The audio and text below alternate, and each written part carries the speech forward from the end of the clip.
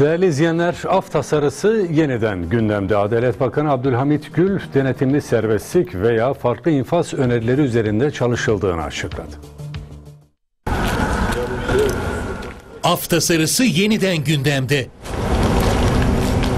Adalet Bakanı Abdülhamit Gül, konuk olduğu özel bir televizyon kanalında gündeme dair soruları yanıtladı. arzuluyoruz. Bunu hep beraber gerçekleştireceğiz. Buna ayak uyduramayan Bakan Gül'e gündemdeki af tartışması da soruldu.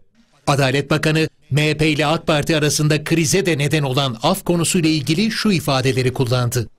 Toplumun bu husustaki duyarlılığını dikkate alıcı adımları attık ve bundan sonra da hep atacağız. Bizim yapmaya çalıştığımız infaza ilişkin denetimli serbestlik ya da diğer hususlarla ilgili nasıl bir infaz önerileri olur bu konuda çalışıyoruz.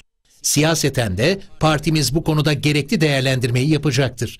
Elbette tüm siyasi partilerle de görüşülecektir ama bu konuda asla toplumu rahatsız edici bir af şeklinde bir düzenleme olmayacağını Cumhurbaşkanımız da açıkladı. Çalışmalar devam ediyor. Siyasetin vereceği bir karardır.